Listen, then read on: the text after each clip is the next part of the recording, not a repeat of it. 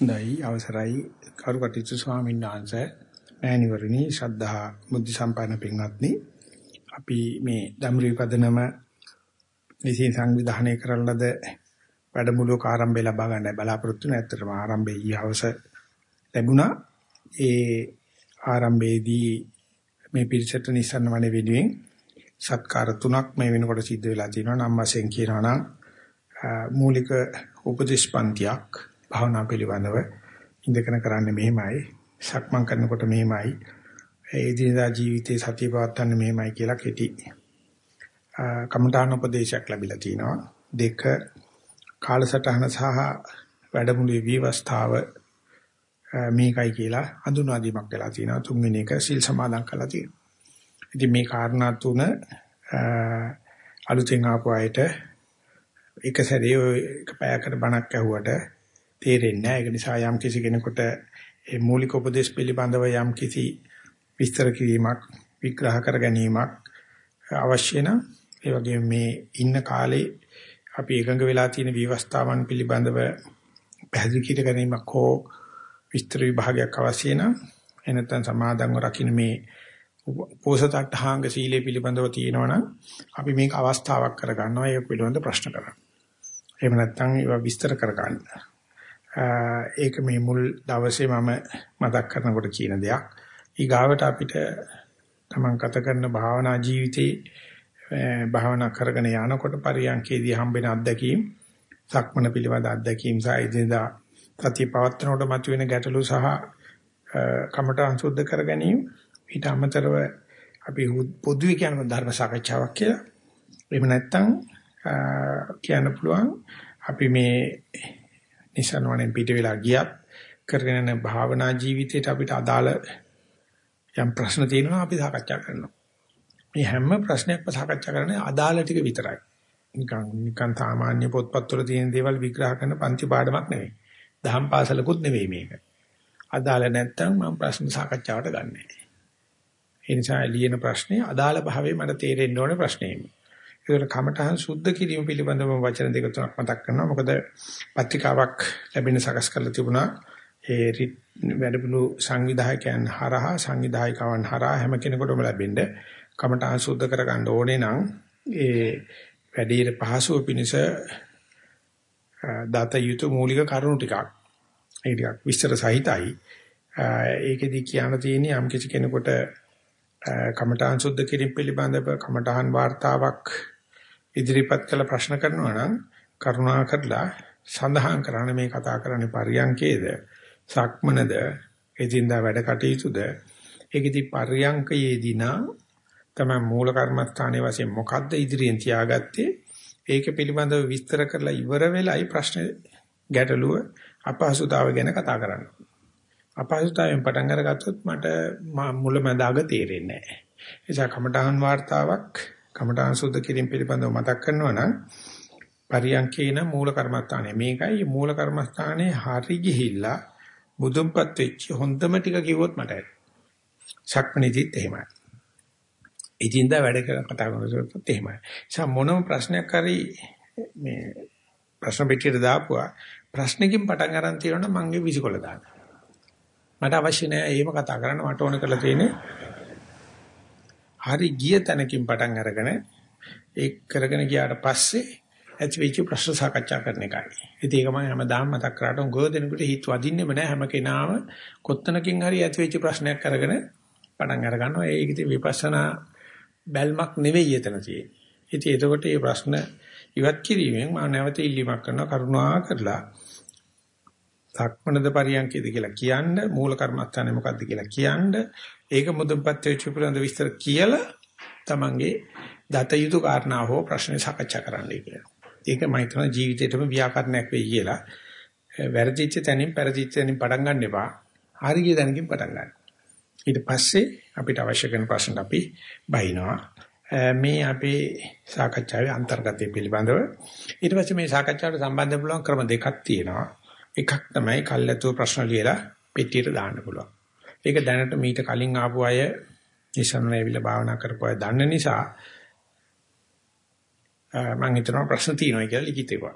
ඊට අමතරව ඒ අනාතරේ තමන්ට සාකච්ඡාව අහගෙන ඉන්නකොට හෝ වෙනියම් හේතුවක් නිසා ප්‍රශ්නයක් කරන්න ඕනේ නම් කරුණාකරලා උසන්නේ. එතකොට අපි මේ පිරිස සඳහා වෙන් කරලා තියෙන මයික්‍රොෆෝනේ එවනවා.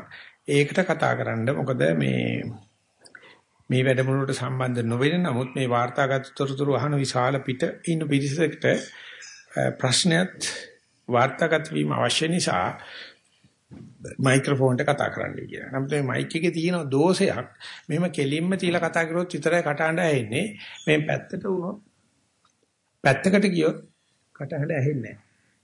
ඉතින් ඒ නිසා ප්‍රශ්න කරන්න ගියාම සබකෝලේ මයික් එකයි ඔක්කොම තියෙන නිසා උගෝදෙනේ ප්‍රශ්න අහන්න ඒකට මම හරිම කැමැති. ඒකට නිකන් ඉන්නවට ප්‍රශ්න ඇහිල්ලක් නැහැ. ඉතින් මේ ඔක්කොම දැනගත්තයි කියලා ප්‍රශ්න අහන්න කියලාත් නෙවෙයි මං කියන්නේ කියනවා අදාළ දෙයක් අහන්න. ඊට අමතරව මේ කියන දෙක තමයි මේකට සම්බන්ධ වෙන්න තියෙන ක්‍රමේ. ප්‍රශ්නෙට අදාළ තොරතුරු ලියවිලා නැත්නම් සමහර විටක මම ඉල්ලීමක් කරනවා. ඒ ප්‍රශ්නේ ලිඛිත එකක් නම් කවුද මේ ප්‍රශ්නේ කෙරුවේ කියලා මට එයත් එක්ක හරස් ප්‍රශ්න ටිකක් අහන්න ඕනේ මාතෘකාවට බහින්න.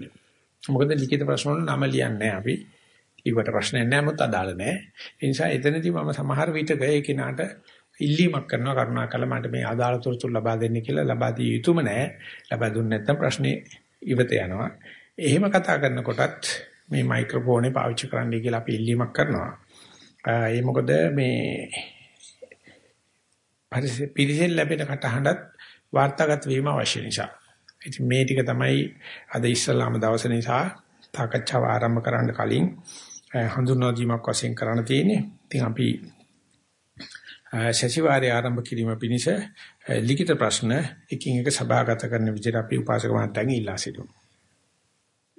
අවතරයි ගෞරවනීය ස්වාමීන් වහන්සේ අචේතනිකව පර්යංකයකට ඉඳගනිමි සුළු මොහතක එනම් තප්පර කීපයක දැනෙන යාන්ත්‍රමින් කම්පනයකින් නිශ්චල වෙමි. මුළු කය තුළටම අවධානය තදින්ම යොමු වේ. එවිට ශරීරය දැනෙන්නේ එකතැන තිබෙන මැටි ගුලියක් ආකාරයෙනි.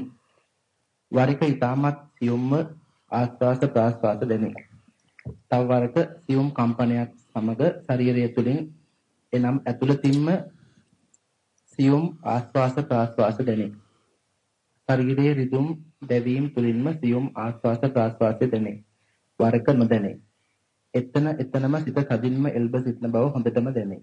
ශරීරයේ දැවිලි තැවිලි කම්පනයේ ආස්වාස ප්‍රාස්වාස දැනුණත් හිත තදින්ම ශරීරය තුළට එල්බ ඇත. කයේ ස්වභාවයක් නොදැනේ. එකතැන වැටුණු මෙටිගුලියක් ආකාරයට දැනේ. මේ හැම දෙයක්ම සිදුවේ. පැය දෙකක් පමණ සිටිය හැක. ඔහේ බලා හිඳිමි. සිතුවිලි සමහර විට ගලා යන බව පෙනේ. නමුත් සිතුවිලි දෙකේ සිත නොදුවයි. අවට මොනම શબ્දයක් ඇතුණත් අවධානයක් කොහෙත්ම නැත. සක්මනේදී සිත එක එතන එතන තැන්පත් වේ. හිත නොසැලෙන ගතියක් දැනේ. මෙම අවස්ථාවේදී එනම් ශරීරය තුල යම් යම් දැවිලි තැවිලි හට ගන්න අවස්ථාවලදී හුස්ම රැල්ල තුලම යාන්ත්‍රණයෙන් දැනෙන අවස්ථාවල සිත යෙදවිය යුතුද නැතිනම් එන එන දේ දිහා බලා සිටිය යුතුද සමහර අවස්ථාවක හුස්ම රැල්ල උපාදානය කරගෙන සිටිනවාද කියා සැකසිතී එන එන දේ බලා සිටමින් ඇතිව නැතිව යන බව දැනුනි එනම් අතුවන දේවල් ඔබ වහන්සේගෙන් උපදෙස් පතමි. ත්වන් සරණයි. මේ කාරණා තුනක් මතු කරලා දෙන්න මට හිතෙනවා. පොදු ප්‍රශ්නෙට උත්තරේ තියෙන්නේ මේ මට්ටමට භාවනා ගියාට පස්සේ එන සෑම දෙයකටම එහෙම ඉඩ දෙන්න ඒක අනිවාර්යයෙන්ම නික්ලිෂි තැනකට යොමු කරනවා. සැකනම් විතරක් හොඳට මතක තියාගන්න තමන්ට සැකයක් තියෙනවා නම් මූල කර්මත්තාන්ට අත තියන්න. එතකොට තමන්ට ආමඟ ප්‍රත්‍යක්ෂණය කරන්න පුළුවන්. මූල කර්මත්තානේ ආනාපාන වෙන්න පුළුවන් නැත්නම් කය වෙන්න පුළුවන්. සැක නැත්තම් ඔහොම යන්න හරි. ඉතින් මේ ප්‍රශ්න අහලා තියෙන සැකයක් නිසානේ. නමුත් සැකේ කියන්නේ කෙලෙසයක් කියලා හොඳට මතක තියාගන්න. අනවශ්‍ය ඔලුවට දාගන්න කෙලෙසයක්. ඉතින් ඒක තමයි අපේ පුරුද්ද. මොනවා හරි නැති වුණොත් මොනවා හරි නිකන් හරි හිතලා දාගන්න. ඉතින් ඊට පස්සේ ප්‍රශ්න එනවා. ඒක අනිවාර්යයි. ඒ නිසා කියන්න දෙන්නේ සැකනම් මූල කර්මත්තාන්ට ගිහිල්ලා ආය ආනපානේ හෝ ඉන්න කායට හිත දාන්නේ. ඒකට තමයි තේරෙයි පටන් ගත්ත තැනට සම්බන්ධය තියෙනවා කියලා. හැබැයි ඒක කාලේ නාස්ති කිරීමක් භාවනාවේ බාධාවක්. යන්න දෙන්න පුළුවන් නම් මේ දැන් තියෙන සතියේ දැන් තියෙන සීලේක පීඨපු ගමනක් ප්‍රතිපදාවේ ඉන්නේ කෙලෙස් අඩු වෙමින් යනවා අඩු වෙනකොට අනිවාර්යයෙන්ම තර්ක මනස සැක කරනවා දැන් මේ තර්ක මනසට සැකයට පොහොර දෙමිල්ලක් මේ කරන්නේ. මේක තමයි අපේ තියෙන අපේ තියෙන අවිද්‍යාව කියන්නේ ඕකට. ඕක තමයි කෙලෙස් කියලා කියන්නේ. ඉතින් මේ අවිද්‍යාවට සහ කෙලෙසට ඥානය කියලා නම දීලා තියෙන්නේ. මේ විමසුන් නුවණ කියලා නමක් දීලා තියෙනවා. මේකට ඥානය කියලා නමක් දීලා තියෙනවා. ඉතින් ඉවරයි. කවදාක කොට ගන්න බෑ. නමුත් සදාකාලික හානියක් වෙන්නේ නැහැ පොදු එකක් මතක තියාගන්න භාවනා මේ වගේ නිස්කලංක වුණාට පස්සේ සිදුවල සියල්ල සිදුවන්නේ යහපතටයි. අයහපත එකම දේ සැක කරන එක. ඉතින් ඒක වළක්වන්න බෑ ඒක වෙනවා. ඒ නිසා මම කියපු ප්‍රකාශය මම නැවත කරනවා සැකනම් විතරක්. Taman හිත මූල කර්මත්තාන්ට කයට හෝ ආනපාන දාන්න. අනිත් එක දෙවෙනි කාරණාව පටන් අරගෙන තියෙනවා අචේතනිකව මම පරියන්කයට ගියයි කියලා. අචේතනික පරියන්කයට යන එක නෙවෙයි.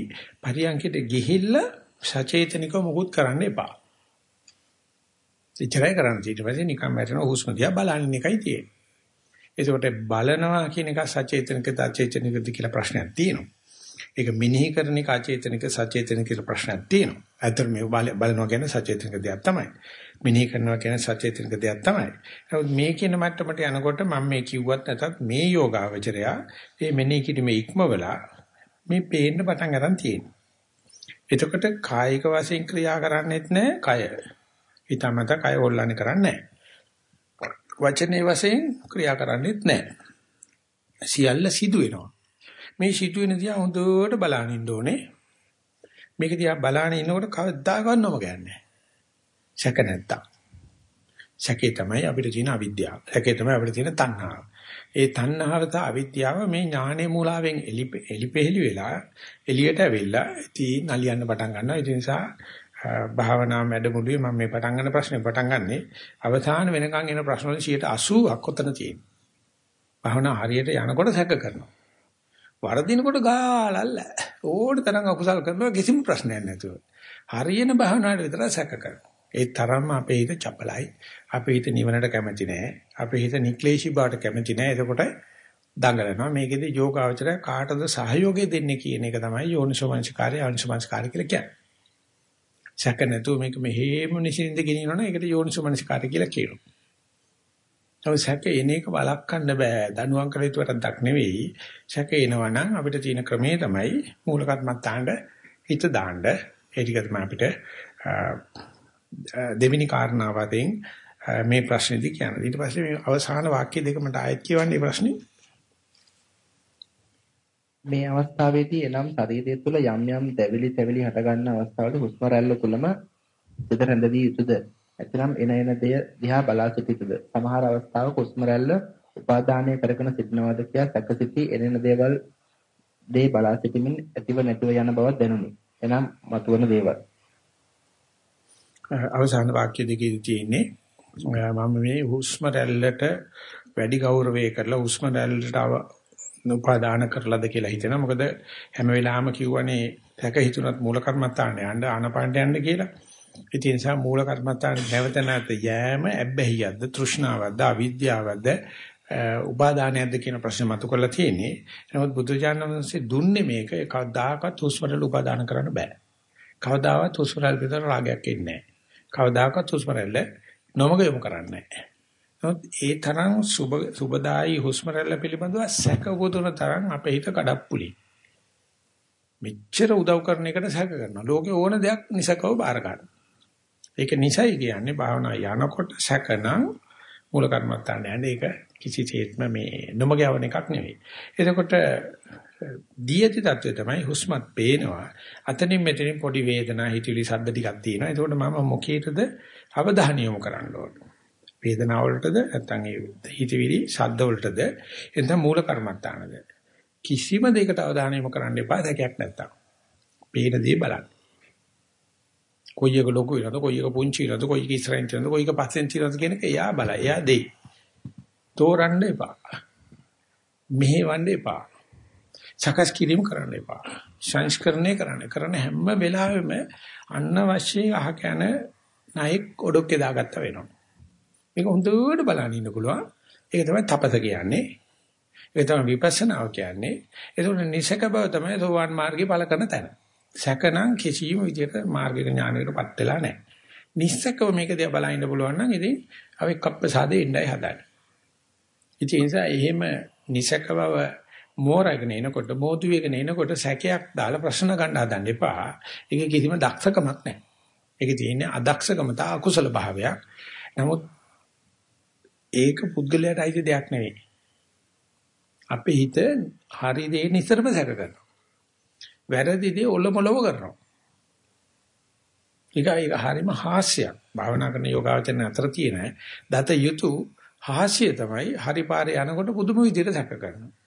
චෙක් කරනවා, ඩෙන්ටි කාඩ් අහනවා, ඔක්කොම චෙක් කරනවා. නිසක වැඩ කරන වැරදි වැඩ කරනකොට දෝරේ ගලනවා, ටොං ගන්න දන්නේ කිසිම තැකයක් නැහැ.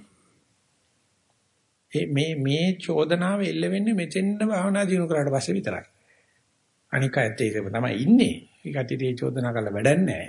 මෙතෙන්ද අපි කනට තේරුම් ගන්න ඕනේ ලස්සන භාවනා විසින් භාවනා දිගෑරෙනකොට අර පුංචි ප්‍රශ්න වගේක් ඔලුවට අරගෙන ඒක ඥානයක් කියලා හිතලා තැක එකතු කරගත්තට පස්සේ මෙතෙන්දි වරහන් ඇතුලේ දාගන්න සැකයක් ඇති වෙන්න හේතුවක් ඕනේ නැහැ. තක తీරුකම විතරමයි ඕන කරන්නේ. මෝඩකම විතරයි ඕන කරන්නේ. අවිද්‍යාව විතරයි ඕන කරන්නේ. තෘෂ්ණාව විතරයි ඕන. ඒදී ඒක කොහොමඩක්වත් ඉන්බිල්ට් තියෙනවනේ. පැකේජ් එකේ ඇවිල්ලානේ තියෙන්නේ. සැකේට හේතුවක් ඕනේ කරන්නේ නැහැ. ඒ නිසා අවසාන කොටසලත් කියන්න තියෙන්නේ ආනාපානෙ බැලුම හෝ ඒ මතුවෙන අනික් දේවල් බැලීම තෝරන්න මොකක්ද එපා. එන දේ බලන්න සැකනම් විතරක් ආනාපානෙ මුල් තැන දෙන්න ප්‍රත්‍යක්ෂණය කරන්න ඊට අමතරව මෙදෙක් කළත් එක කියුණා ඒල නිකන් සාමාන්‍ය ඉඳගෙන ඉන්න කය දිහා බැලුවත් ඇති. ආනාපානෙම විය යුතු නෑ. ආනාපාන දින හොඳයි. කය දිහා බලාගෙන ඉන්න දැන් සම්පූර්ණ වැඩපිළිවෙල යනවා. මට තියෙන්නේ දුරස්තව දේශ බලා සිටීම පමණයි කියන එකයි මේ මේ ප්‍රශ්නෙට අදාළව කතා කරන්න තියෙන හැබැයි මේ මම කතා කරන්නේ මේ ප්‍රශ්නේ ලියුවේ කරන්න විතරක් නෙවෙයි. පොදුවේ මම මේ කතා කරන්නේ. අපි යනවා ඊගා ප්‍රශ්නෙට. ගෞරවනීය ස්වාමීන් වහන්සේ ධර්මදේශනාවේ සඳහන් කළ ආකාරයට සක්මන් භාවනාෙහිදී යෙදීමේදී වම් පාදය හා දකුණු පාදය ලෙස මෙනෙහි කළා. එහෙත් ටික වේලාවකින් සිත විසිරී ගියා. නැවත නැවත සිත සක්මනට ගනිමින් මෙනෙහි කළා. සක්මන් භාවනාව තවදුරටත් ඉදිරියට කරගෙන යාමට ඔබ වහන්සේගෙන් දෙපා නැමද උපදෙස් පතමි. පර්යංකේදී මම දැන් මෙතන යයි සිතමින් මෙනෙහි කළා. එවිට ටික වේලාවකින් නිදිමත ගතියක්ද ඊට පසු බෙල්ලෙහි අධික වේදනාවක්ද දැනුනි. එම නිසා පර්යංකයෙන් නැගිට නැවතත් සක්මනට ගියා. වැඩි වේලාවක් පර්යංකයේ සිටීමට නොහැකි බැවින් ඒ සඳහාද ඔබ වහන්සේගෙන් උපදෙස් පතමි. ඔබ වහන්සේට මේ භවයේදීම චතුරාර්ය සත්‍ය අවබෝධ වේවායි පතමි. කමඨං වාර්තාවට තොරතුරු ඉදිරිපත් කිරීමෙන් මේකේ හොඳ පැති ලක්ෂණ කීපයක්ම තියෙනවා. මම සක්මණ ගැන කතා කරන්නේ. සක්මණේදී මම වම දකුණට හිතියෝ දාන්නේ. එතකොට ටික වෙලාවක් ගියාම හිත පිට යනවායි කියලා. නමුත් මෙතෙන්ද ගිය මේ පියවර කීපකින් ඉදිරිපත් කරගත්ත මේ වාතාවරණයේ දත යුතු තිබිය යුතු අත්‍යවශ්‍ය කාරණාව තමයි දැන් ඊට දැන් සද්ද වේදනා හිතිලා හිත කැඩෙන්නේ ඉස්සෙල්ලා දැන් මම වමේ ඉන්නේ එතන වමට හිත පිහිටලා තියනවා කියලා දැනගත්තේ මොකෙන්ද කියලා දැන කියන්න ඕනේ. දකුණට ගියා වම නෙවෙයි දකුණේ දැන් දකුණ බව දැනගත්තේ කොහොමද කියලා මේ වැටහුණු ආකාරය අවබෝධ කළ ආකාරය මේකේ නැහැ. එනිසා බුදුම ස්වාමීන් වහන්සේ කියන්නේ ගානක් ලියලා තියෙනවා සුළු කරලා තියෙනවා උත්තරේට ඉත දෙක ගහලා නැහැ. ඒකට අපි දන්නේ තාම සුළු කරගෙන යනවද උත්තරේ නම් සුළු උත්තරේ ඉත දෙක ගහන්න බෑ. මේක එහෙම එකක් නැහැ. නිසා ලකුණු ලැබෙන්නේ නැහැ. නිසා මේ ප්‍රශ්නේ දීපේකන කැමැතිද සභාවට ඉදිරිපත් කරන්න යම් ආකාරයකට සක්මණට කියලා සක්මණට මේවම මේ දකුණ කියලා මෙනෙහි කරගන්න පුළුවන් වෙලා. අර කියන ප්‍රශ්නේ ඉස්සර වෙලා. වම තේ තියන්න කියලා වැටුනේ කොහොමද? දකුණ නෙවෙයි කියලා වැටුනේ කොහොමද? හිතවිලි වේදනා සද්ද නෙවෙයි කියලා මේ වමමයි කියලා වැටුනේ කොහොමද කියන එක සභාවට ඉදිරිපත් කරනවනම් මම හිතනවා ඉදිරියට ප්‍රශ්න ලියන්න තියෙන අයටත් සාකච්ඡාවට සම්බන්ධ වෙන ගොඩක් තොරතුරු ලැබේ. කැමැතිද? මම මේ සක්මන් භාවනාවේ යෙදෙනකොට බිම කකුල් දෙක දිහා බලාගෙන වගේ තමයි සක්මන් කළේ. ඒ කියන්නේ කකුලේ මහ අපට ඇඟිල්ල බිම වම් කකුලේ වැටෙනකොට වම් කකුල කියලා ඒ විදිහට තමයි මෙනෙහි කළේ. ඒක ඒක වැරදි. කකුල් දෙක බලන්න එපා කියලා පැහැදිලිවම කියන්න ඕනේ. මොකද ඒකට වෙල්ල රිදෙනවා. බලන්න ඕනේ බම්බයක් විතර ඉස්සරහින්. එතකොට දැනීම විතරයි අපිට තියෙන්නේ. ඒක කීප එක හොඳයි. එතකොට කාට කාටත් මේක පණිවිඩයක් වෙනවා. කෙලිම ඉස්සර බලන්නත් එපා. එතකොට හිත විසිරෙනවා. කෙලිම කකුල දෙක බලන්නත් එපා. එතකොට බෙල්ල රිදෙනවා. දැන් බම්බයක් විතර ඉස්සර බලන ගමන් කකුල තියෙනවා. එතකොට තමයි දැනෙනවා මේ වම මේ දකුණ නැත්නම් ඇවිදින බව දන්නවා. එතකොට ඒ ලොකු ජයග්‍රහණයක්. සක්මනට යනවා කියන එකත් මිනිසෙකුට විතරක් කරන්න පුළුවන් එකක්. ඒකට ගිහිල්ලා තියෙනවා. දැන් ඊට පස්සේ අපි දැනගන්න ඕනේ දැන් මේ වම තිනකොට මගේ හිත තියෙන්නේ වමේමද කියලා. එකක් මෙනෙහි කිරීම කරන්න පුළුවන්. දෙක නැත්තම් තමයි තේරෙයි කොළොට බර තද වෙන හැටි. බොර පොළවේ ගුරුසු ගතිය, පයේ මුරුදු ගතිය නැත්නම් පයේ තද ගතිය, පොළවේ මුරුදු ගතිය, පීඩනය අහුවෙන හැටි. ඒක විලුමේ ඉඳලා ඉස්සරහට මෙහෙම තල්ලු වෙන හැටි. එතනින් ගියාම නිශ්චල දෙයක චංචල පය වැඩ කරන හැටි. එහෙම නැත්නම් ට්‍රෙඩ්මිල් එක වගේ යනවා නම් චංචල පොළවක චංචල පය වැඩ කරන හැටි. එහෙම නැත්නම් දකුණට වැඩිය වම බර ගන්න හැටි මේ ගොඩක් විස්තර තියෙනවා. අන්නේ ඒ ඉල්ලමේ මේ මැණික් ටික ගන්නයි ඉල්ලම හරන්නේ. දැන් ඉල්ලම හරලා තියෙනවා මැණික් කඳුට නැහැ. තෝරලත් නැහැ. වார்த்தාවට ඇතුල් කළත් නැහැ. ඒකට හේතුවක් වෙලා තියෙනවා වම කියලා දැනගෙන තියෙන බලලා. ඒක මූලික උපදේශය තිබුණේ නැත්නම් ඒක මගේ දෝෂයක්. මේ ඔක්කොමලා මතක තියාගෙන කකුල දිහා බලාගෙන නෙමෙයි ඇවිදින්නේ. එතකොට මම මේක පිරිසුදු කරලා දුන්නාට පස්සේ බලන්න එපා. තමයි බලන්න නැතුව වම තිනකොට වම තියන්නේ කියලා වැටහි වටහා ගන්න පුළුවන්කමක් තියනවාද? එහෙම නැත්නම් තව සැරයක් සක්වම් කරලා බලන්න වෙයිද මගේ ප්‍රශ්නෙට උත්තර දෙන්න.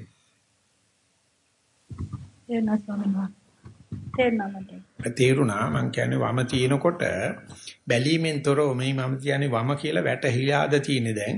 එහෙම නැත්නම් තව කරලා බලද්දී උත්තර දෙන්න වෙයි. තව කරලා කරලා බලපන්. ඒක නිසා ඒක සුද්ධ කරගන්න. ඒකල වාර්තාව මේ විදිහට ලියන්න. හැබැයි වාර්තාව මේක කොටුවක් හිස්. වම තියනකොට මොකද වැටුනේ කියලා ලියලා නැහැ. ඒතකොට මට වැඩ කරන්න බෑ. දකුණ තියනකොට මොකද්ද වැටුනේ කියලා ලියලා නැතුව ඇහුවොත් මට ඒතකොට හිත පිට ගියයි කියලා හිත පිට යන්න ඕනේ. මොකද මේ තොරතුරුට සාදර වෙලා නැහැනේ. සෝදරු අහුරගෙන ගිහලා නැහැ. ඉතින් එතකොට අහලා තියෙන අරමුණක් ඇවිල්ලා හිතේ වැද ගන්න. ඒ නිසා අවදිගේ වෙලාවේ එකලස් වෙච්ච වෙලාවේ ඒ තොරතුරු උකහා ගන්න එක එහෙම නැත්නම් ඒ තොරතුරු සාදර වෙන එක තමයි යෝගාවචර කරන අනුග්‍රහය. ඒ පිහියක දැල්ල වගේ මේ අන්තිම දේ වෙලා නැහැ. එතකොට පරියන්කයට ගිහිල්ලත් මතක් කරලා තියෙනවා මම මෙතෙන් යනකම් ගියයි කියලා. ඒ ඒ මූල කර්මත්තන් හිත යෙදුවට පස්සේ හිත පිට යන කතාව වෙන්නේ ඉස්සර වෙලා මම දැන් මූල කර්මස්ථාන මගේ හිත ගියා කියලා දැනගත්තේ කොහොමද කියලා ප්‍රශ්නයක් අහුවොත් කොහොමද කියන්නේ? ඒක මම මෙතන ඉන්නවා කියන එක මට ඒක මෙනෙහි කරගන්න පුළුවන් වුණා ස්වාමීන් වහන්සේ. ඔව් එතකොට ඒකට මම ටිකක් අමාරුවේ දාන ප්‍රශ්නයක් අහනවා. මම දැන් මෙතන ඉන්නවා කියලා සහතික කරගන්න මොකක්ද හම්බෙන අත්දැකීම? එහෙමනම් දෙයක් තේරුන්නේ මම ශරීරයෙන් මෙතන ඉන්නවා කියලා මෙනෙහි කරගෙන තමයි කරන්නේ. මෙනෙහි කරපෙකත් හරි. මෙතන ඉන්න සබහ ඕන කෙනෙක් උත්සාහ කරන කොයි වෙලාවක හරි මම දැන් මෙතන කියන එකට හිත ගියොත් විස්තර කරගන්න කාටවත් බෑ. ඒක ඒ තරම් ගැඹුරුයි. ඒ තරම ඒක නිවන. කවුරක්ද ඒක පිළිගන්නේ කැමති නැහැ. ඒක නිවන කියලා. ඒක තේරෙයි ඒක කාටවත් විස්තර කරන්න බෑ. දැන් මම මෙතන ඉන්නවා කියන එක තමයි යන්න ඕනේ උපරිම තැන. ගිහිල්ලක් තියෙනවා. ඒකට ඒක සාහිතිකේ තමයි කොච්චර ගැඹුරුද කියනවනේ මේ ලෝකේ කාටවත් ඒක විග්‍රහ කරන්න බෑ. නමුත් අත්දැකීම නෑ කියන්නත් බෑ. කාටවත් කියන්න බෑ නේද විස්තර කරන්න බැරි නිසා මම අත්දැක්කේ නෑ කියන්න බෑ. ඒ නිසා හොඳටම තේරෙනවා භාවනා කියන එක බුදුහාමර කියලා දීපේක 100%ක්ම වැඩ. ඕනම කෙනෙකුට ඕනම වෙලාවක මම දැන් මෙතන කියන තැනට යන්න පුළුවන්. ඒතකොට ඕනම කෙනෙකුට තේරුම් ගන්න පුළුවන්. ඒ අත්දැකීම කොහොමඩක්වත් විස්තර කරන්න බෑ. හැබැයි සන්තෝෂ වෙන්න දෙයක් තියෙනවා. කවුරු අත්දැක්කත් අත්විඳින්නේ ඕකම තමයි. ඕක තමයි බුදුහාමුදුරුවෝත් අත්දැකී ඉතින් අපිට බුදුන්ට සම්බන්ධ වෙන්න ඕන මම දැන් මෙතෙන්ට යන්නේ. ගිය ගමන් බුදුහාමුදුරුවෝත් එක්ක ඉන්නේ. ඊට පස්සේ හිතවිලියයි සද්දෙයි බලන්න මේ හිතවිලි තියේදී හිතවිලි අතරමැද මම දැන් මෙතෙන්ට යන්න බැරිද කියලා. සද්ද මැද මම දැන් මෙතෙන්ට යන්න බැරිද කියලා. ගිය දවසක තේරෙයි හරියට මේ විදිහට එල්ලයක් හදාන පෙරලෑස්තියක් ඇතුව ගියොත් හිතවිලි තිබුණත් හිතවිලි කියන්නේ බිත්තියක් නෙමෙයි ඇහිදල් සහිත එකක්. හිතවිලි අස්සෙන්ද මට තේරෙන්නේ මම ඉන්න බව මම හිතගෙන නෙවෙන බව. මම ඇවිදිමින් නෙවෙන බව. නිදාගෙන නෙවෙන බව. මම මෙතන ඉඳගෙන ඉන්න බව. තේරුම් ගන්න එච්චර අමාරු නෑ. ඒකට නැගිටලා සක්මන්ට යන්න ඕන කමක් නෑ.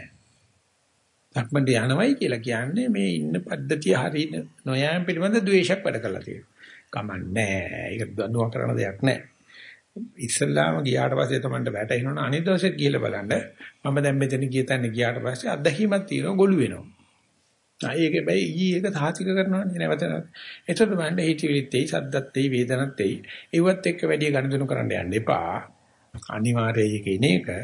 ඒකට හේතු එකක්. මේ මම දැන් මෙතන ඉන්නවා කියන එක නිවන කියලා දන්නේ නැහැ. අගේ කරන්නේ නැති මනසට අනිවාර්යයෙන්ම හිතවිලි එනවා. එන මනුස්සයාට හිතවිලි දන්න මනුස්සයාට හිතවිලි එනවා ගණන් ගන්නෑ. හිතවිලි මොකෝ? හිතවිලි මේ මම දැන් මෙතන කියන එක මකන්න බෑනේ. හලහප්පන්න විතරයි පුළුවන්. සද්ද ආවම මොකද සද්දටත් බෑ මේක වහලහප්පන්න. නැති කරන්න. හලහප්පන්න විතරයි පුළුවන්. ඒ යා කරන්න තියෙන සද්ද විතරයි හිචිලි මැද.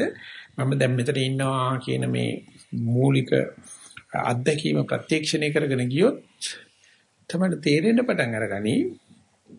කියලා දෙන්න බැරි වුණාට මේ අත්දැකීමෙන් කවදාකවත් අවුරුදු 100ක් මේ ලෝකේ ඉඳලා බලලා ආයෝග අත්දකින්න මේ අත්දැකීම වයසට යන්නේ නැහැ. කද්දාවත් වයසට යන්නේ මේ අත්දැකීම ඉඳගෙන හිටියත් ඊටකට හිටියත් සක්මන් කරුවත් ඉරියව්වත් එක්ක සම්බන්ධිකුත් නැහැ.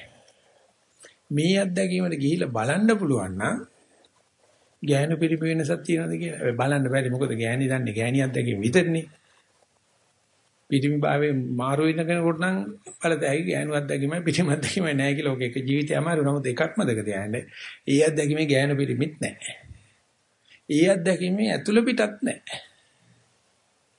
ඒසා විශාල ගැඹුරක් තියෙනවා මේ මම දැන් මෙතන ඉන්නවා කියන අත්දැකීම.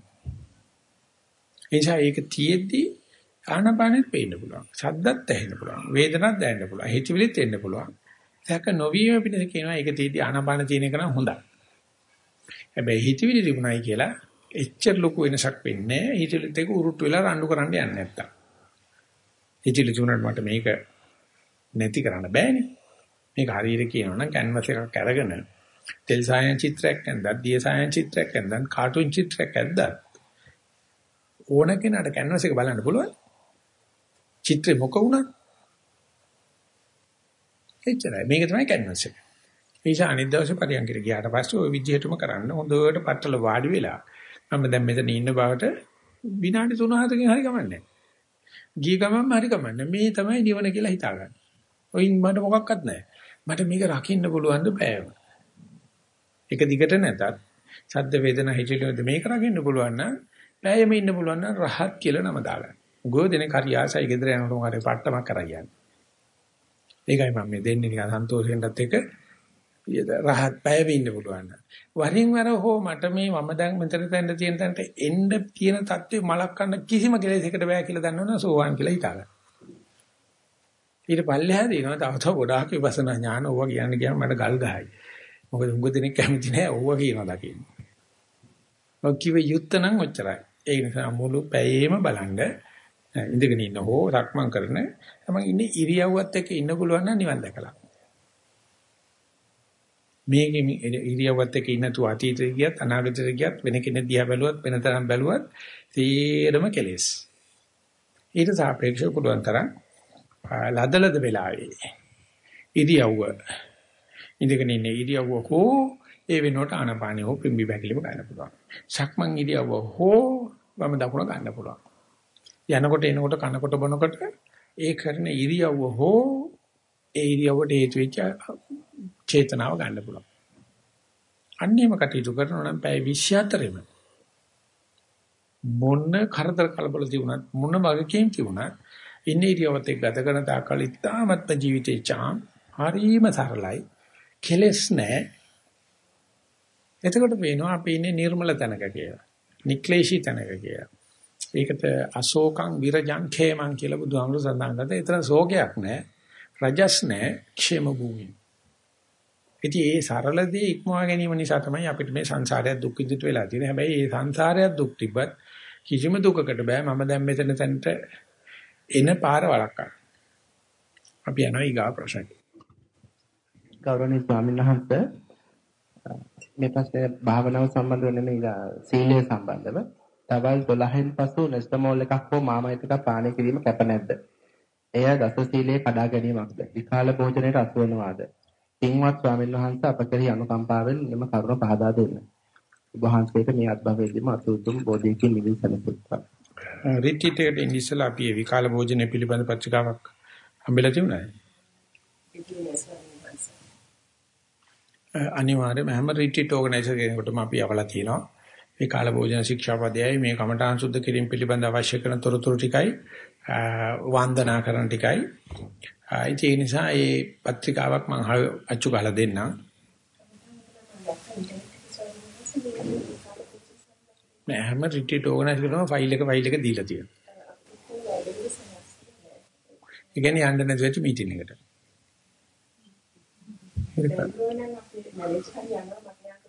නෑ කොහොමද ඒක තියෙනවා නමුත් ඒක මකන්න පුළුවන්. ඒ හැම ෆයිල් එකේම තොරතුරු මිටියක් දීලා තියෙනවා. ඒක කොහොම සාකච්ඡා කරලා තියෙන නිසා මෙහි තියෙනවා මේ විකාල භෝජන මේ වගේ. මේ තුන් හතර බල කලවල තිබ්බා. ඒක නිසා කාට හරි අවශ්‍ය නම් ඕගනයිසර් කාට හරි ඒක විද්‍යුත් පැලෙන් මේකෙන් යවන්න පුළුවන්. මම ටයිප් කරලා මේ මොකද්ද මේ තේරේඩු ගන්න චන්දිවුණු සාංශික පොතක කෑල්ලක් අරගෙන තියෙන්නේ. ඒක හරි ගසලා තියන්න ඒක කියව ගන්න. ඒක ඊට පස්සේ අමතර ප්‍රශ්න තියෙනවා අපි මතු කරගනිමු. ඒ නිසා ඒකට උත්තර දීපු ප්‍රශ්නයක් අපි සම්මතේ පිටලා ඉන්නවා. ගෞරවනීය ස්වාමීන් වහන්සේ මෙය මාගේ දෙවන වැඩමුළුවයි. සක්මනේදී අරමුණේ සිත තබාගෙන එනම් මේ පාදය වම් පාදය ඔසවනවා තබනවා දකුණු පාදය ඔසවනවා තබනවා යනුවෙන් එහෙත් ඒ සමගම සිතට වෙනත් වෙනත් දේවල්ද සිතවිලි පැමිණේ.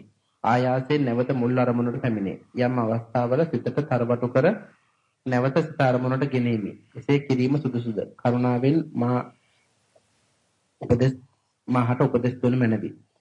පර්යංකේදී වාඩි වී සුළු මොහොතකින් සිත තැන්පත් වේ. විතක නිින්ද ගියාදයි සැකසිතේ. එක්වරම තිගැස්සී හැරෙමි. උපදෙස් පතමි. වහන්සේට මේ භවයේදීම චතුරාර්ය සත්‍ය අවබෝධ වෙනවා. සක්මන පිළිබඳ භාවනාවේදී නම් විස්තරේ නම් මෙන්න මේක මූල කර්මස්ථානය කරගෙන කියන එක කියවිලා තියෙනවා.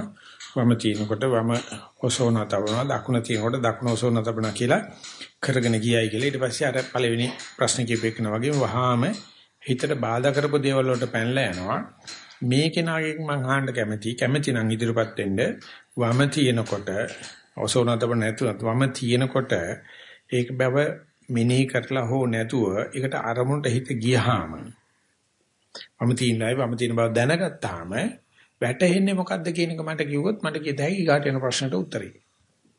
වම් කකුල තියෙනවා කියලා දැනෙනවා තද ගතිය පොළවේ වදින.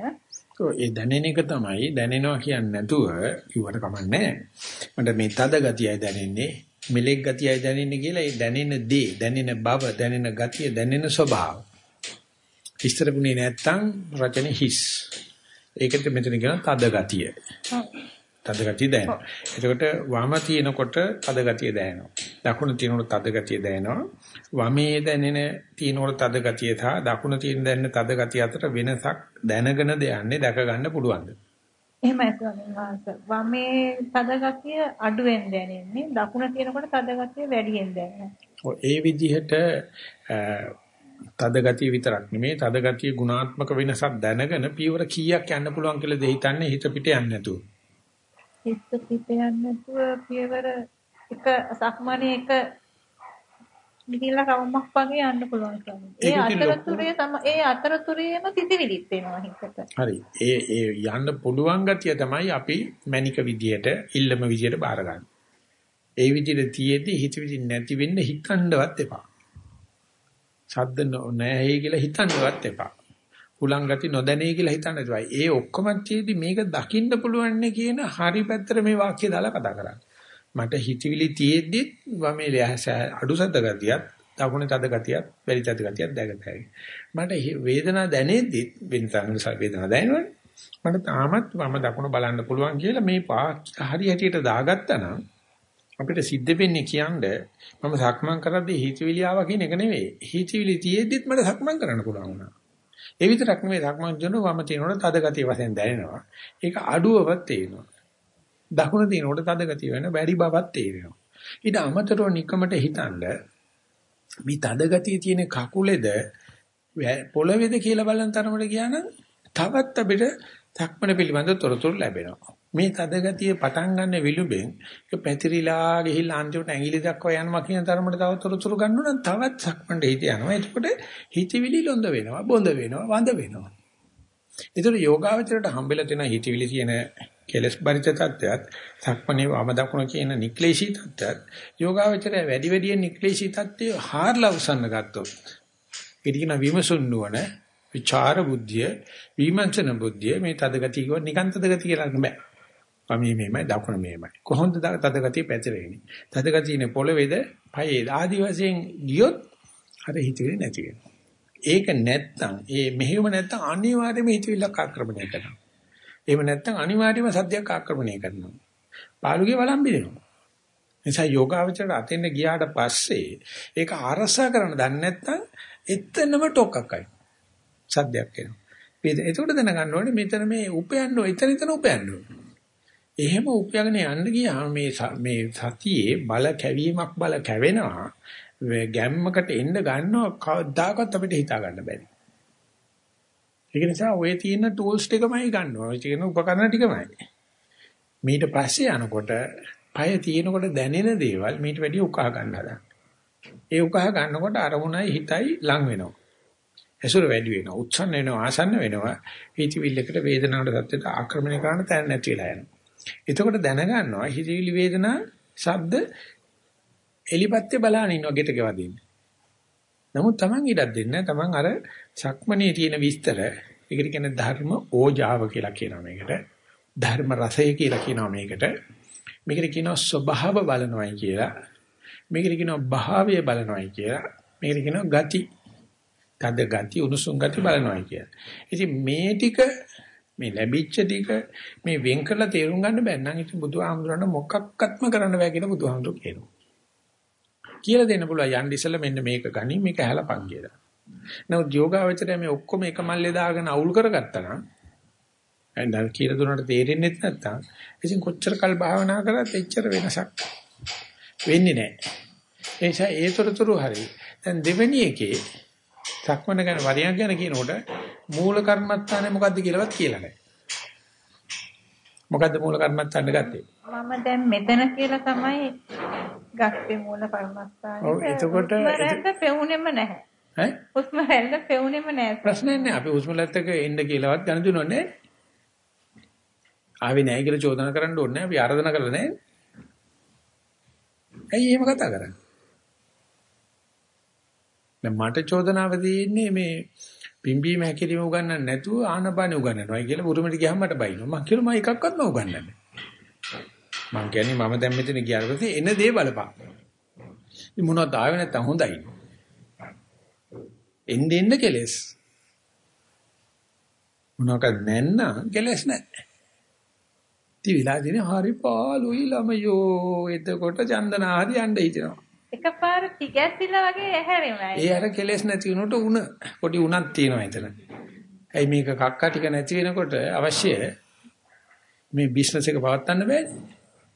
ගැස්සෙනවා, තද වෙනවා. ඒ විතරක් නෙවෙයි බඩ බොක්ක කරකොල දානවා. ක්ලාන්ත ගති පහල කරනවා. වක්කාර ගති පහල කරනවා. මොකද කවදාකවත් කෙලෙස් නැත්ැනකට ගියාට පස්සේ හිතට වසන්නම බෑ. එහාට අර කූඩල කොට උඩ තිබ්බා වගේ ලාහට අරගෙන ගෙම්බෙත් තිබ්බා වගේ ලාහට ගෙම්බ ගෙම්බට ලාහ ඉච්චර සැපදනක් නෝට පණිනකන් හදිසි. උඩලට කොට්ටේ උඩ ඉච්චර සැපතනක් නෙවෙයි පෙරලිලත් එතමනට යනකම් හදිසි. ආහනේ මේක දිහා බලන්න පුළුවන් නම් මෙන්න කෙලෙස් මෙන්න නිකෙලෙස් මං කාටද ඡන්දේ දෙන්නේ. මං කාටද කඩුව දෙන්නේ. මං කාටද කොපුව දෙන්නේ කියලා බැලුවොත් අපිට නික්ලේශී බවක් පිළිබඳ හැඟීමක්වත් නැහැ. බුදුහාමරණ 100 100ක් තියාගෙන හොම්බට දමලැල්ලා පෙන්නනවා. මුල උලලා පෙන්නනවා. අපේ හිත බක්කාලා පයින් පිටිපස්ස. ඊට පස්සේ අපි හිතනවා ඒක නිසා අරමුණක් තියෙන එක හොඳයි. කර්මාන්තයක් තියෙන එක හොඳයි කියලා. නැසේනම වැරදි මතයක ඉඳලා ගත්ත දේවල්. ඒ නිසා පරියන්කට ගියාට පස්සේ මම දැන් මෙතන ගියා නම් අහන්න මම දැන් සද්දක නොවන බව දන්නේ කොහොමද? මම වේදනාවක නොවන බව දන්නේ කොහොමද? මම හිතවිල්ලක නොවන බව දන්නේ කොහොමද? මම ආනපනේ නොවන බව දන්නේ කොහොමද කියලා කට උත්තර නැහැ. එකම දේ තියෙන්නේ මේක පවත්වන්න පුළුවන්ද කියන එක. පවත්වන්න බැරි හේතුව කම්මැලිකම. නීරසකම. ඒකාකාරීකම. සැකය. චකිතේ. අනිශ්චිත භාවයේ. ඒ එක්කෙනෙකුට අයිති දේවල් නෙවෙයි. ඔක්කොම ද්වේෂයේ චෛතසික ටික. හැම කෙනාම ඒ ද්වේෂයට තමයි ඥානය කියලා නම දාගෙන තියෙන්නේ.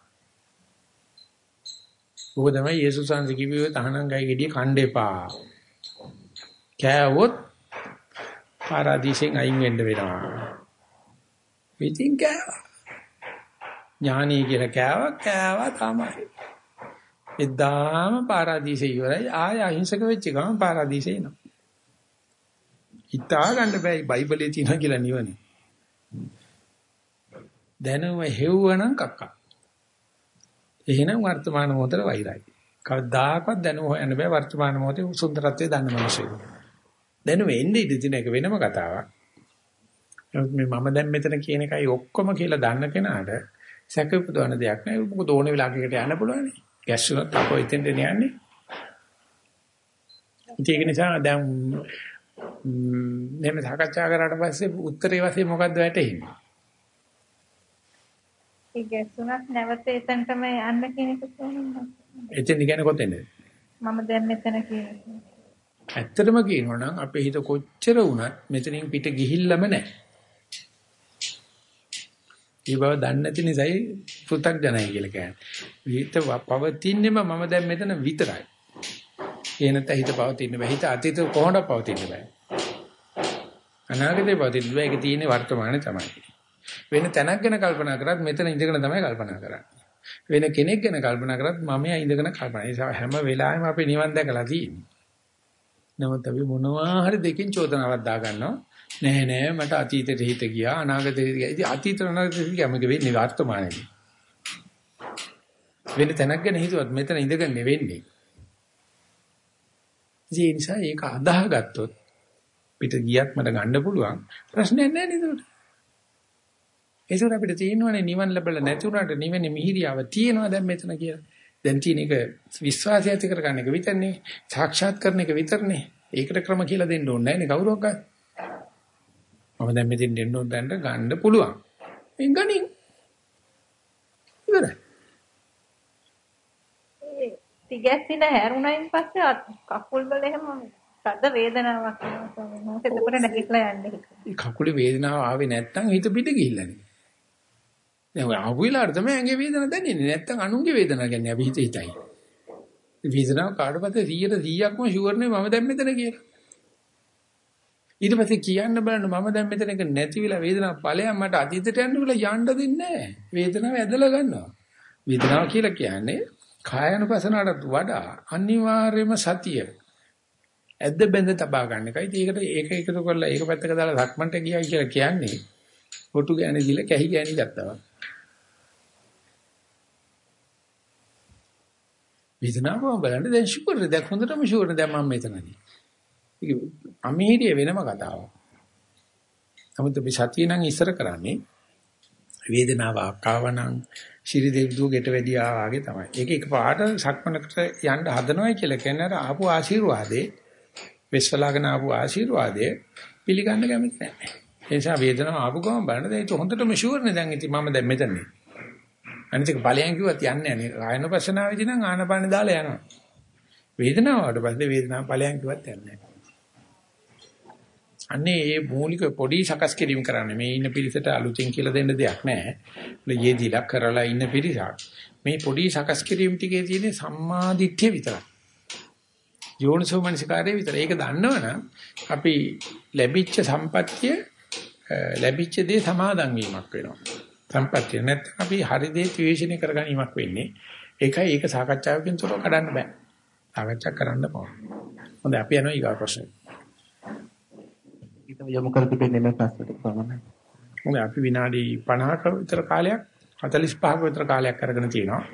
ඉතින් කාට හරි මේට අමතරව සභාවට ප්‍රශ්න ඉදිරිපත් කරන්න තියෙනවනම් අපි මේ කරගෙන ගිය පසුබිම යටතේ තියෙනවනම් ප්‍රශ්න ඉදිරිපත් කරන්නයි කියලා නැත්නම් ප්‍රකාශන තියෙනවා ඉදිරිපත් කරන්න කියලා මම කරුණාවෙන් ඉල්ලා සිටිනවා. ඒ විශේෂයෙන් ප්‍රශ්න නැත්තම් අපි පැයකුත් විනාඩි 10ක පමණ කාලයක් ගන්නවා සක්මනට ඊට පස්සේ තුනට රැස් වෙනවා සාමූහික භාවනාවකට. ඉතින් අපිට කියන්න පුළුවන් පළවෙනි සාකච්ඡාව හොඳයි කියලා. මේ බලාගෙන ඉන්න කට්ටියට දොස් කියන වගේ කෑ ගැහුවට ඉදිරිපත් වෙච්ච ක්‍රමය හොඳයි. ඉදිරිපත් ඉදිරියටත් මේ කියපු විදිහට කමටහන් සුද්ධ කරන වෙලාවට අත්දැකීම් ටික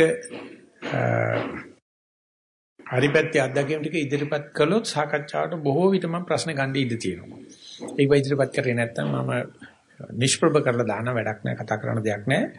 මේක නිසා මේක දැනගෙන ඉදිරියට ප්‍රශ්න ලියනකොට ඒ ටික ඇතුළත් කරලා ලියන්නයි කියලා කරුණාවෙන් මම ඉල්ලා සිටිනවා. අපේ සාකච්ඡාවේ නිමාව මෙතනින් සටහන් කරනවා. සීල දිනාටම තෙරුවන් සරණයි.